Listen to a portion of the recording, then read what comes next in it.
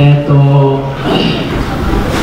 まず自己紹介からすると、まあ、結構半分以上の方は僕のことを知ってくれてると思うんですが、えーっと国際キリスト教大学3年の佐々木幸喜と申します、えーっと以後よろしくお願いします。ということで、えーとまあ、ミップレクチャーをしろと言われて、まあ、レクチャーを作ってみたわけなんですがテーブル・オブ・コンテンツはこんな感じとなってます、えー、とまずはじめに、えー、と軽くやっぱりエージャンスタイルっていうのがどういうスタイルなのかっていうのを説明した後に、えー、とエージャンにおいて VIP っていうのは特にあの、まあ、BP の VIP をやったことがあるもしくは BP の VIP について知ってる人が多いと思うのでまあそこと比較しつつどういうふうな役割なのか。で3つ目に、えー、とそのどうすれば、かどういう VIP っていうのがエージャンにおいて強い VIP なのかっていう話をして最後に、えーとまあ、一応どうやったら VIP として始められるのかなみたいな感じです。でまあ別にあのご飯を食べながら聞いていただければ構いませんのでそんな感じでお願いします。というわけで、えーとちなみにレクチャーの目的なんですがえっと、佐野君がさっき言っていたみたいにセカンドスピーカーのやつと同じでぶっちゃけた話、えっと、ファーストスピーカーのあの詳しいレクチャーに比べると正直ジェネラルにこれをこうすれば絶対いいですっていう話はできない。っていうふうになった時に、まあ、やっぱりその VIP に対するまずイメージっていうのを今回の列車で確立してほしいなっていうふうに思ってそう WIP っていうのはどういう仕事をするべきでどうすれば WIP として強い WIP になり得るのか。まあ、そこはジェネラルに全体的に言えるところなので、まあ、そこがもう今回のレクチャーの唯一にして最大の目的である、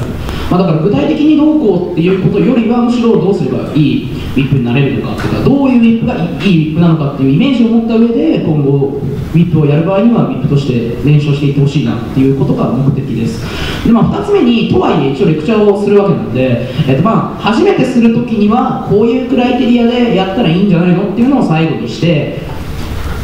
いこうかなっていうふうに思ってます。でまず最初に What is Asian Style ということで、まあ、佐野君が結構説明してくれたのでそこまで詳しく説明しないんですが、まあ、3対3で行われてプレパ時間が長くて、まあ、え BP と比べると2チームしかいない。で大事なことっていうのは、えーっとまあ、スタンスをしっかり持ってくださいよっていうことでまあ、なスタンスをしっかり持つっていうのは、まあ、佐野が説明してたのでそこまで詳しく説明する必要はないと思うんですけども、まあ、要はどういうふうな、えー立場どういうふうなモデルっていうのをその君たちのチームが持ってるのかっていうのをはっきりさせた上でディベートに臨むことがまず一つ大事であると。で2つ目にプログラムをしっかり解決しようっていうのは本当エージャンでは間違いなく重要なこと。これは NA とか BP と違って、えーとまずプレパ時間が長かったり3人スピーカーがいるかとかそういうような理由で、えー、とエージャンのジャッジングをするときもしくは、えーまあ、エージャンでどっちが強いのかどっちが勝ったのかっていうのを評価するときにプログラムをしっかり解決する。プログラムをしっかり提示してプログラムをしっかり解決するところまで持っていくことっていうのが、えーまあ、特にガバには求められてるっていうことをしっかりと理解してください、えーとこれ結構後半で重要になってくるんで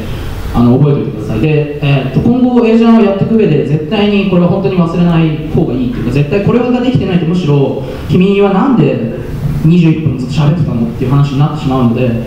えーとまあ、プログラムをしっかり解決することっていうのを絶対忘れないようにしてください。で最後にもう一つ大事なことっていうのは比較をすること、まあ、NA でも BP でももちろん一緒なんですが特に、B えー、とエージャンではとても大切になってきます。どういうことかっていうと、え2チームしかいない割には長い。でなおかつ、まあ、すごい深いところまで議論がいく話がいくような作りになってる。以上やっぱりどこで君たちのチームが勝ってるのかどこで、えー、と勝ってるっていうふうに示したいのかっていうふうにやっぱりその要はジャッジはあのこのディベートは勝ち負けないかなっていうふうには言えなくてどっちかに勝ちを出さなきゃいけないっていうふうになった時にやっぱりそのこう A と B の違いは何かっていうところを明確に示すっていうことが BP とか NA よりもなお求められてる。逆に言えばこれさえしっかりできれば、まあ、絶対勝つことができるっていうことを、まあ、覚えておいてくださいと。で、まあ、VIP の話に行きますよっていう話でまずは各スピーカーのイメージを見てみようっていうことで、まあ、このレクチャーのテーマはあのイメージということなんで、まあ、ちょっと図で、まあ、絵で写真で示そうかなっていうふうに思うんですけど、まあ、ファーストスピーカーとセカンドスピーカーは僕のイメージ的にはこんな感じです。どういうことかっていうと本当にあのジェンガを組み立てるようにその自分たちのケースをコツコツと組み立てていく。あのまあちょっとそのままちょっと言ってたかなっていうふうに思うんですけどあのーレビュー？リビューをファーストセカンドでそこまでする時間はない。どういうことかっていうと、まあ、なんかこういうような形でどんどんどんどんその自分たちのサイドのスタンスをまずしっかり固めて、まあ、スタンスが多分あの下の滑り止めになってるマットレスみたいな感じでその上にやっぱりそのイグザンプルであったりコンテクストだったり事実だったりベネフィットだったりハームだったりっていうのをこのファーストとセカンドの間でどんどんどんどん固めていく積み上げていくっていうのがすごい大切なことになってくるんじゃないのかなっていうふうに思ってますで、まあ、VIP はこういうことであると要は「やー!」ってやって壊しちゃえばいいよっていうことをまず本当にこれがでもすごい大切なイメージで BP の VIP とかと比べてもやっぱり壊し屋であるっていうかその相手がすごい頑張って立ててきた要はイメージ的にはこうガバがいてオポがいるとしたらファーストとセカンドが順番にこうジェンガを積み立てていくわけですでそれで VIP が最後出てきて何をするかっていうと相手のジェンガの横に行ってこうやってガンガンって蹴っ飛ばしてそのジェンガを崩すでもう一個大事なことがあって崩した上で何をするかっていうとだからちょっと今イメージを膨らましてほしいんだけどこっちには自分のジェンガが立った状態であると。でこっちのジェンガはもう VIP がやったからこう崩れてる。崩れてるジェンガがあって立ってるジェンガがあるっていう状況でまあこれは誰か分かると思うんだけど。まあこういう顔をするのもすごい大切なことであると。要は VIP の仕事っていうのは大きく2つあってまず1つ目には相手のジェンガを倒すと。こう粉々にすると。その上でこう、まあ、比較的残ってるというか比較的高いレベルにあるジェンガでいやお前らのジェンガちっちゃいなバカだなっていうふうに言うのが、本当にすごいバカな話に聞こえるかもしれないけど本当にこれが基本的なウィップの仕事。要はぶっ壊してその上で壊した上で比較をするっていうのがすごい大切になると。まあ、真面目にまとめるととにかくリフトをすると。特にエージャンの特性を考えるとプログラムを解決することが求められるとかえー、っと長い時間、えー、っと長い時間というかその2チームしかいないっていうことを考えるととにかく相手のジェンガをどんだけ壊して低く見せて自分のジェンガを高く見せるのかっていうことがすごい大切になる。で壊しただけじゃダメでやっぱりこう冷静に考えてジェンガの高さがこんだけしかないのと自分たちがこんだけあればこっちの方が勝ってるよねっていうことをしっかり示していくっていうことが VIP として求められてることですよで、まあ、BP と比べると、まあ、先ほどから何度も強調しているように4チームの中で一番優れていることを示す BP っていうのは、まあ、本当にまあなんかいろいろテクニックを要さなあのいろいろやんなきゃいけなくて正直僕はあんまり好きじゃないと。ただ映画のリップっていうのは本当に単純明快で2つしかタワーがないから片方のタワーを壊して自分が高いですよっていうことを証明すればいい。とにかく相手を叩き潰そうっていう意識を持ってリップをやるようにしてください。まあ、だからイメージ的には相手を潰すだけじゃなくてその上で自分たちをより高く見せる。っていうことですね、はい、で何が強いリットなのかっていう話をするとまあ、大きく分けて多分要素は3つあるんじゃないかなっていうふうに思ってまず1つ目にはとにかくうまいリフュートができないと VIP としてはポンコツであると。ちゃんとしたリフュートを相手に打つことができなければ、えー、とその VIP はいなくてもいいと。まあだってリプライがいるわけだから別に比較するだけだったら別に必要ないと。で2つ目にこれはちょっと難しくてそのうまくクラッシュを使ってその比較猶予を作る。どういうことかっていうととさっきも言ったようにやっぱり14分もコンストがあるとこうなんかジャッジとしてもちょっと困ると。なんかいろいろ出てきたけどどうしたらいいんだろうなっていうふうに思ってるジャッジに対してここは勝ってるんですよなんかジェンガがいっぱいあって塔がいっぱいあるんだけどこの塔では絶対俺ら勝ってるよね。っていうことをちゃんと示していくだとか。まあ後でもうちょっと詳しく説明するんですけど散らばってるマターを整理するってことでまあぶっちゃけた話国内だろうが海外だろうがバラバラしてると。なんかコンソの2人はいろいろ頑張っていろんなマターだったりエグザンプルだったりであのまあアーギュメントを結構立ててくれるんだけどジャッジからするとなんかいっぱい出てきたけどで何なのとかどういうふうな目的に基づいてそういうのを説明してるのかがわからないっていうことが多々あるのでそれをしっかりそのクライテリアだったりクラッシュを作ってしっかり整理してジャッジに見せやすくするっていうのもすごい大切で3つ目にはなんか1%のひらめきと99%のプレパ力って書いてあるんですけど要は佐野もちょっと言ってたんですけど30分プレパがある以上間違いなく言えるのはプレパの30分で勝負のほぼ9割方決まっていると。でまあ VIP っていうのはやっぱりそのプレパの中で相手に対するリフュートだったりっていうのをどれだけちゃんと考えられるのかっていうので結構決まってくるよねっていう話です。でただ問題は100%プレパで決まるってわけじゃなくてなんで1%のひらめきって書いてあるかっていうと、まあ、往々にして相手のアーギュメントが自分の予想を上回ってくることはほとんどないんですけど下回ってひどい時っていうのは多々あってじゃあそれをどう創意工夫に満ちたバカにし方をするのかっていうのはやっぱり1%のひらめきに入ってくるんじゃないのかなっていうふうに。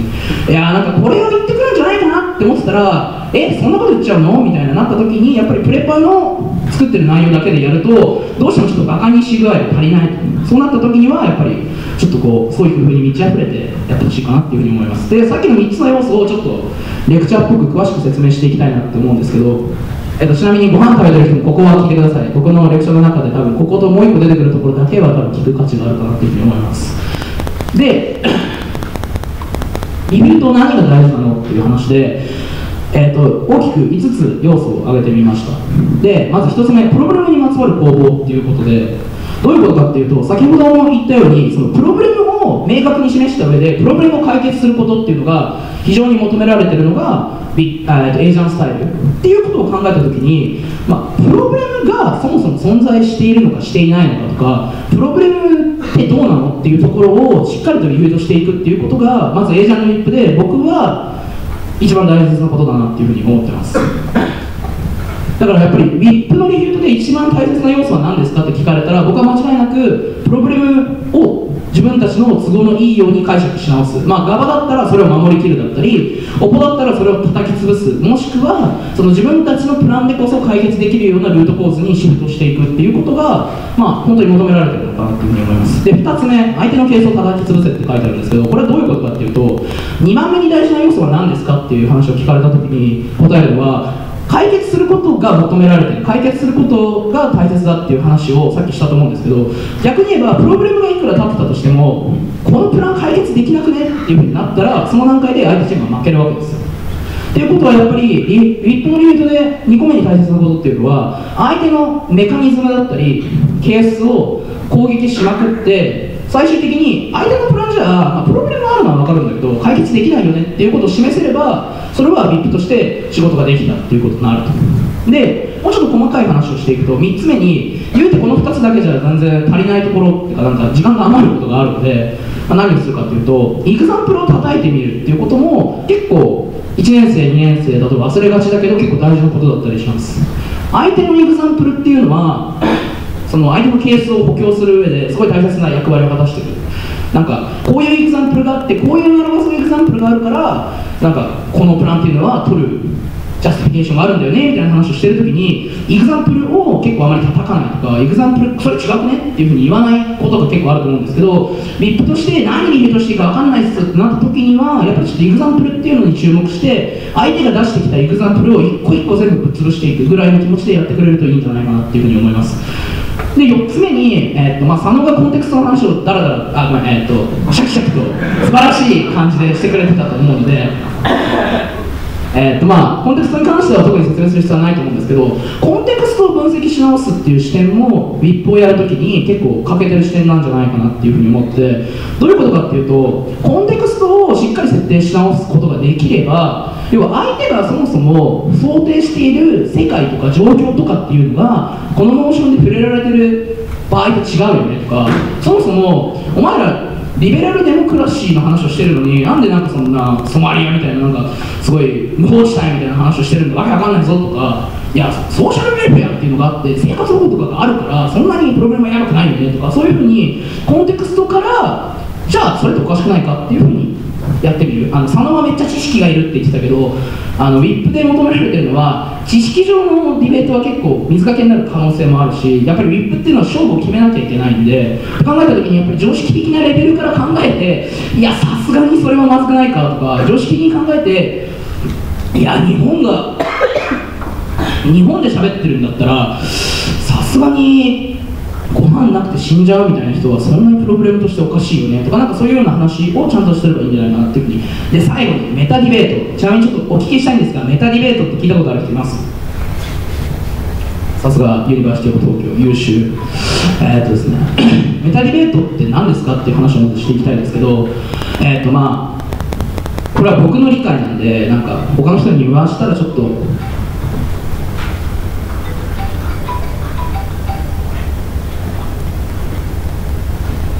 えーっとまあ他の人に言わせるとちょっと違うよっていうふうに言われるかもしれないですけど少なくとも meta debate に関する僕の理解っていうのは議論の根本的な部分ではなくてそのディベートとして考えた時の戦略上戦術上の穴を議論すること。でどういうことかっていうと例えば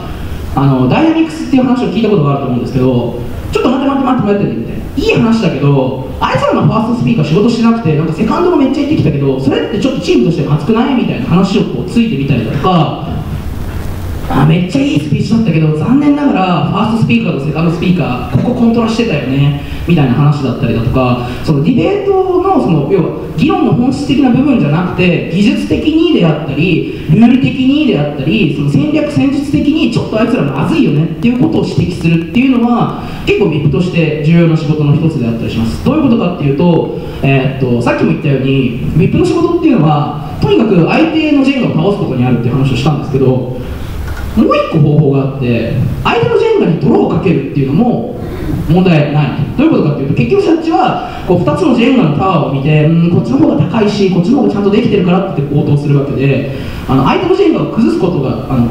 蹴っ飛ばせなくてもこうなんか遠くの方からなんか泥をかけるとかなんかペンキをかけるとか何でもいいんだけどその相手のケースを汚す相手のスタンス相手のチームをちょっとダメだよねあれっていうふうに言うっていうことも VIP の仕事としてすごい大切になってくるんじゃないのかなっていうふうに思います。実際結構、えーとブレイクラウンドとかではいかにあいつらダメだよねっていう話をするのかっていうところで結構勝負が決まってくることもあるんであの VIP の仕事としてそういうところもあるんだよっていうふうに覚えておくと結構幅が広がるんじゃないかなっていう、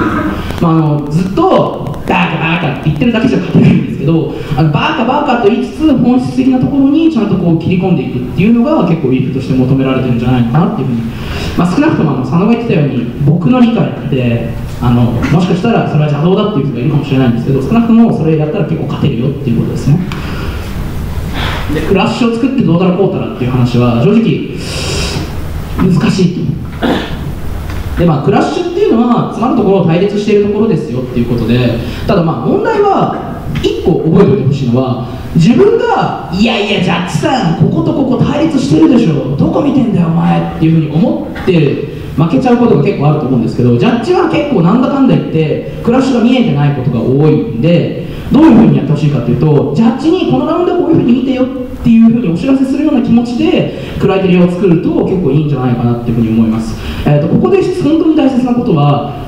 自分にとって明確にここでクラッシュしててここで勝ってんだろうっていうふうに思ってることを口に出して言うだけで勝てるっていうことです。逆に言うとそれを口に出さない限りはいくら自分の脳内で勝ったろうって思っててもジャッジに伝わってないっていうことがあるので、えー、っと小難しくやらなくていいから要は VIP で座っててあ負けたわこれって思ってたらその時はその時でまあちょっと頑張ってほしいんですけど、まあ、大体そういう人はいないと思って特に競ってる時とかは勝ったんじゃないこれって思ってる時にはやっぱり理由があるはずで自分の中でその理由を聞いてこことここで勝ってると思うから僕は勝ってると思いますっていうところまでいったらじゃあそれをそのままクライテリアに持っていけばいいんじゃないのっていう話です。まあクラッシュに関しては一応夏セミかなんかで僕一回レクチャーをしたんですけどやっぱり難しいんでまあやっぱりあの頭の中でどうして僕たち勝ってるんだろうっていうふうに考えて当たり前だろこれっていうことを伝えるようにしてくれればいいんじゃないかなっていうふうに思います。で散らばってるマターを整理すると。さっきも言ったように結構バラバラしてることが多いんですよ。なんかさっき、えー自分たちのチームは30分プレパをした上でスピーチに臨んでるからいやいやいやいやこのアーギュメント完璧でしょとか？このエグザンプルもマジやべえっていうふうに思ってる時はあるんだけど問題はジャッジからすると実は案外まとまってなかったり何のためにこの話してんのっていうのがわからないことがあると。でそういうところをこういうふうにまとめるっていうのが、えっと VIP として求められてるもう一つのことですよっていうふうに覚えておいてください。でこの図をなんで僕が拾ってきたかっていうとまず一つお聞きしたいのは左と右を見て右の方が素敵だなっていうふうに思う人は多分いないと思うんですよ。ただこの図が VIP を考えるときにどうして重要になってくるかっていうとこんなに見た目の印象が違うのに部屋に置いてあるものっていうのは変化してない。要は例えばなんか素敵な絵とか素敵な家具とかをどっかから買ってきてこの部屋に付け出したわけではなくてこう部屋にもともとあったものっていうのをきれいに整理するだけでこんなに見栄えが変わってくるんですよっていうことを覚えておいてほしいんですね。えっと忘れちゃいけない大事なことってことで、まあ、さっきの話に引き続いて結構何がニューなのかっていうのは VIP を扱う時に結構ずっと議論になることなんですが少なくとも僕の認識だったり、まあ、海外のディベーターを見てたり海外のジャッジにジャッジをされた時に僕が感じたことっていうのはニューっていうのはとてつもなくニューでない限りは100%取られます VIP で出すものは。とてつもなくニューっていうのはどういうことかっていうとよく使う話はファーストスピーカーとセカンドスピーカーがブラックマーケットっていう話を一個もしてないのに VIP が急になんかこのディベートのコアはブラックマーケットでどうのこうのっていうふうに言い始めたらそれはアウトです。ただ新しい視点をディベートに持ち込むだったり現在出てるマターを整理して見やすくするっていうことは OK です。で特に1個目の話新しい視点をあ視点や見方をディベートに持ち込むっていうのはどういうことかっていうと例えば、えー、とちょちょ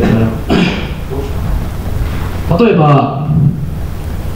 この部屋を見るときに多分そっちから見てるのとこっちから見てるのでは多分見え方が全然違うと思うんですけど要はこの部屋にいる人間の数を動かさないでじゃあ今から VIP として別の視点からこういうふうに見てみますよとかこの僕たちが出したマターっていうのはこういうような視点で見直すと,、えー、と結構いい話になるでしょっていうふうに足すことは大丈夫っていうことです。今出てるエグザンプル今出てるロジックっていうのをちゃんと整理した上でそれをつなげ直すだったりその綺麗にあのパッケージングってやつですけどよく言う。っていうふうにやり直すことは VIP として全然 OK なことなのでそれはちょっと覚えておいてください。あの人によってはなんか VIP って勝ちに行くのはちょっとダイナミックス的におかしいっていうような話も結構出るんですけどまあ正直なところ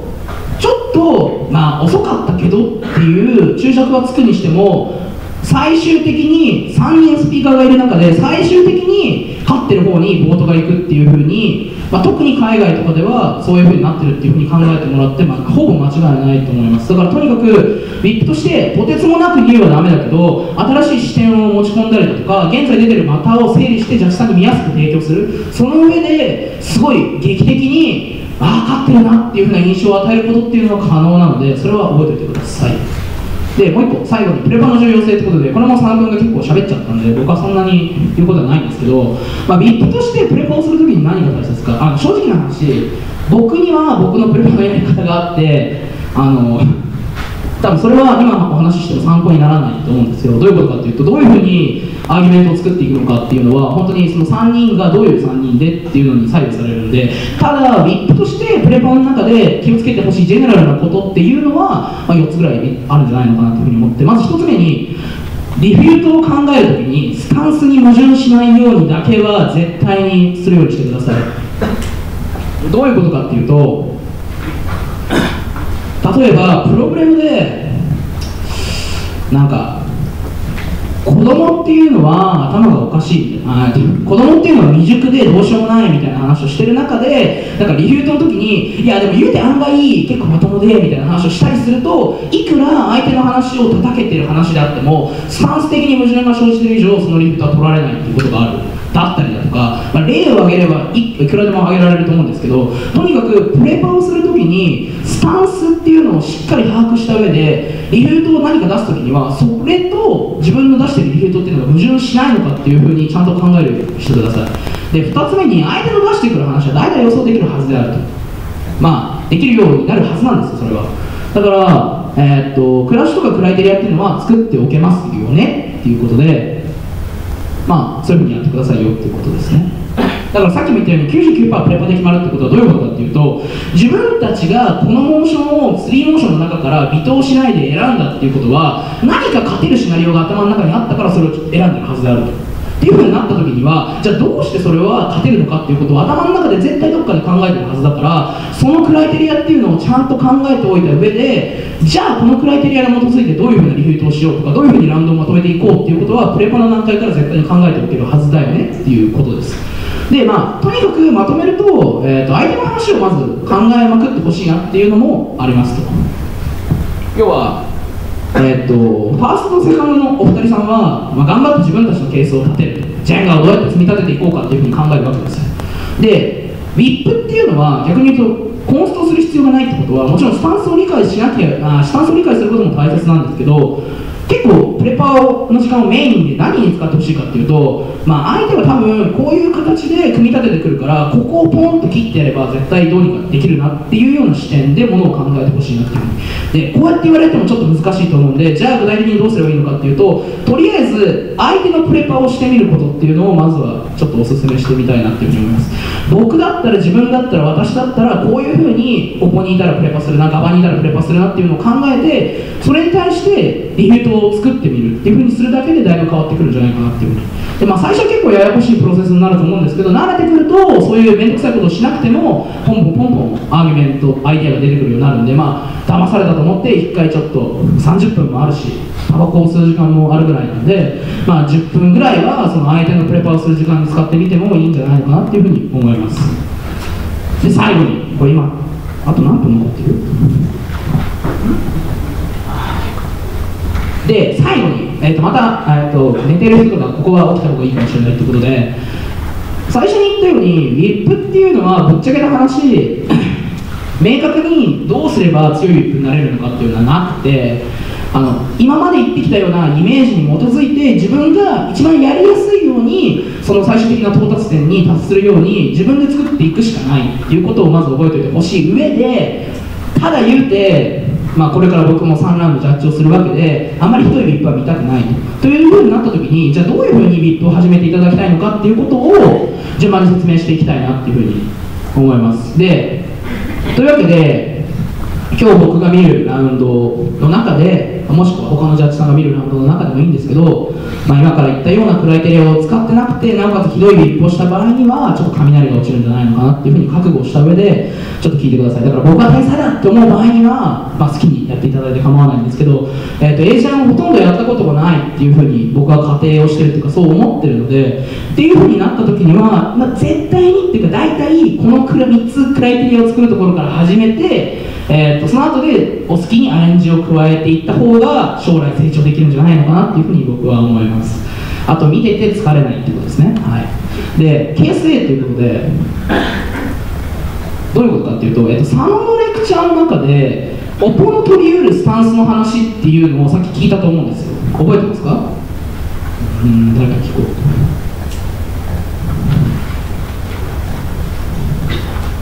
う。松永 佐野のレクチャー聞いてた？じゃあ佐野のレクチャーの中でオポの取り得るスタンスの話が出たと思うんだけどほら見て佐野さんがめっちゃ 心配そうにこっちを見て。いるオポの取り得るスタンスの話を聞いたと思うんだけどオポの取り得るスタンスっていうのはどういうのか要はファーストネガとしてなんかこれをやんなきゃいけないよねみたいな話をしてたと思うんだけど何？質問変えようファーストネガとして絶対やらなきゃいけないことを教えて。何をアクセプトして何をアクセプトしないのかをどこに応募するのかを選んで示す。そういうことですね。でどういうことかっていうと,、えーと、これケース A とケースあちょっと待って。ケース A とケース B が書いてあって、えーと、その応募が取ってきたスタンスもしくはまあ自分が応募として取ってきたスタンスによってケース A とケース B に分かれますよっていうことをえ、っと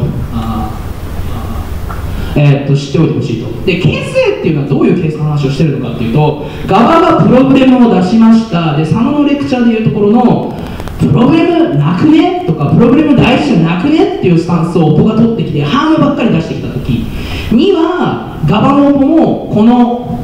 側も側イップもホイップもこのクライテリアに分けて話すといいんじゃないかなっていうふうに思います。どういうことかっていうとプログラムがあるないもしくはプログラムが重要である重要でないっていうところで揉めてる時にはさっきも言ったように一番大切になってくるのはプログラムあるのないのっていうところがまず絶対に一周になってるしそこさえ守りきれればもうそもそも勝ち星が一つついてる。要はオポがプログラムなくねって言ってきたのにプログラムがあるっていうことを証明できればもうそれはもう勝ったようなもんだし逆に言えばプログラムないよねって言ってるああるよねってガバが言ってる中で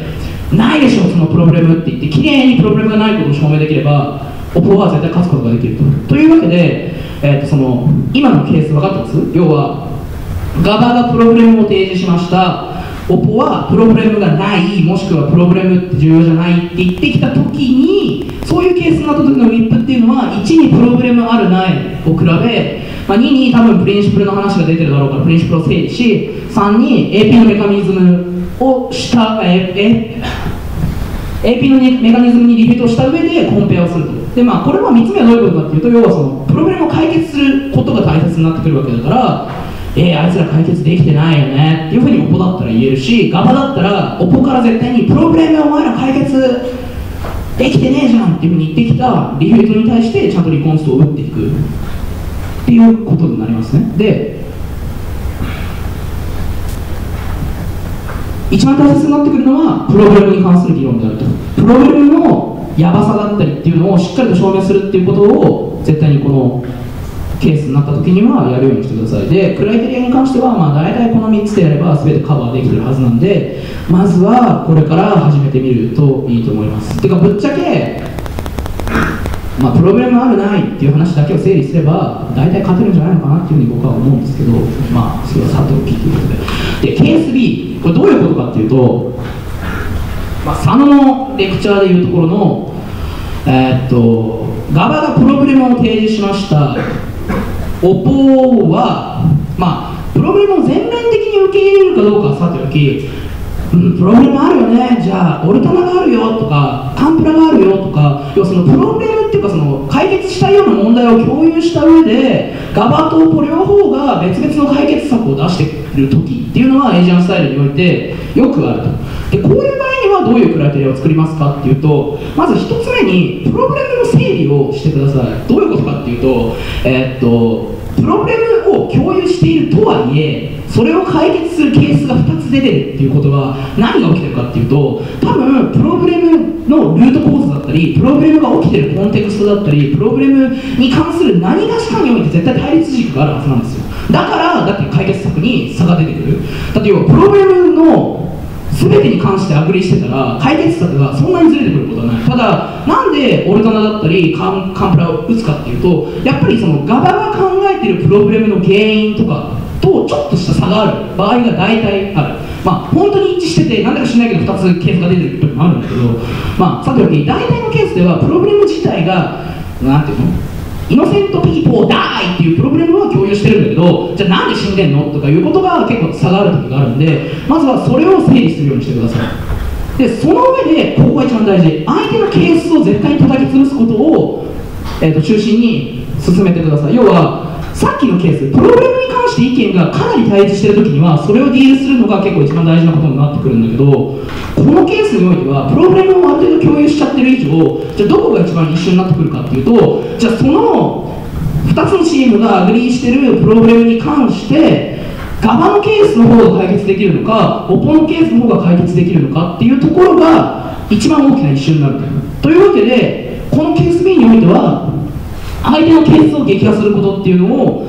特に重視して話すようにしてください。で相手のケースを撃破するってどういうことかっていうと、まあ、単純に言えばお前らのケースじゃプログラム解決できねえじゃんとかお前らのケースのベネフィットってそんなに大きくないよねっていうふうに言うこと。だから例えばそのメカニズムおかしくないかみたいななんかそのえー、っとどうしようかな。このおかしいまあなんか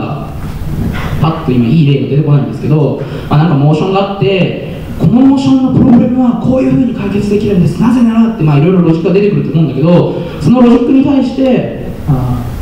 えー、としっかりとリフトを加えた上で相手のケースっていうのがプログラム解決するところまでたどり着きませんよねってまず証明することに一番神経を注いでください。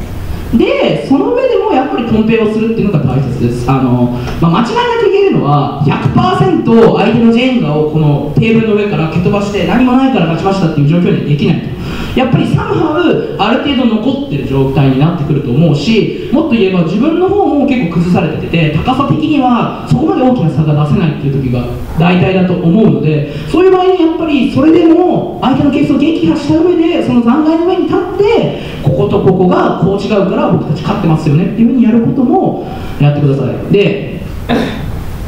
書き忘れたんですが要はケース B の前のクライテリアっていうのはやっぱりまず絶対最初にやってほしいのはプログラムに関するクライテリアを1個作る。プログラムっていうのはどういうプログラムなんですかっていうのをまずはっきりさせた上で2になんか相手のケースがなんでワークしないのかっていうのを説明しますっていうクライテリアを作ってほしい。で3つ目にじゃあ AP のベネフィットとハームっていうのは何になるんですかっていうふうにはっきりと説明するようにしてねっていうことです。で相手のケースを撃破するっていうのはプラクティカルにワークしないっていうだけじゃなくて例えばプリンシプル的にこれおかしくないかっていうふうに言うこともできるし、まあ、いろんな方法があると思うんですけど、まあ、とにかくケース A と B をまとめると A の場合プログラムに関して根本的な対立がある場合には、えーと、プログラムあるないっていうのにちょっとフォーカスしてクライテリアを作ってほしいなと。でプログラムに対して対立が起こっていない場合もしくはあるけど結構表面化していないとか、まあ、カンプラオルタナが出てきちゃった場合ちなみに1個忘れないでほしいんだけどプログラムを認めてないのにカンプラを打ったりオルタナを打つバカがいるけどそれ絶対ダメだあのカンプラオルタナっていうのはプログラムを共有した上でそれはほっといても解決されますよとか、えーと、こうすれば解決されますよっていうふうに言うからカンプラとかオルタナを出せるわけでなんか時々見るのはプログラムありませんでも僕はカウンタープロポーザルを出しますとかオルタナがあるんですとかなんかわけわからないことを言う人がいるけどそれは絶対やっちゃダメなんだよね。で、まあ、要はそのオルタナカンプラが出てきて2つのケースが存在してて同じゴールに向かって同じプログラムを解決するためにケースが2つ出てきてる時っていうのは相手のケースを撃破する相手のケースを破壊することに一番神経を注いでくださいねっていうことです。はい。まあそんな感じですかね。はい。というわけで何かご質問はありますか？えっ、とざっと説明したので質問は多々あると思うんですがまあ、一つ言い訳をするのであれば、えーと、佐野さんの素晴らしいファーストスピーカーレクチャーと違って VIP の仕事っていうのは本当にどういうふうにやれば強いのかとかこうすれば君たち絶対勝てるよっていう仕事がなくてあくまでもその自分がやりやすいようにスピーチを作っていくことっていうのが本当に大切になってくるので、まあ、今日のレクチャーである程度 VIP っていうのがどういう職業なんだろうっていうイメージだったり、まあ、こうすればいいんじゃないかなっていう目標とかが分かった上でなんとなくスタートラインに立つためにはとりあえずプログラムとか相手のケースっていうのでクライテリア作ればいいんだなっていうのが分かってればそれでいいです。あのそれ以上求めてませんしそれ以上は自分でどうにか作っていくものだと思いますんで、まあ、あとは必死にあがいて頑張ってくださいっていう感じなんですがそれでもなお例えばメタディベートって何ですかとか質問があれば今受け付けますしみんなの前で喋るの恥ずかしいよってなったら喫煙所にいると思うんで聞きに来てくれれば僕はいつでも答えますという感じで。はい。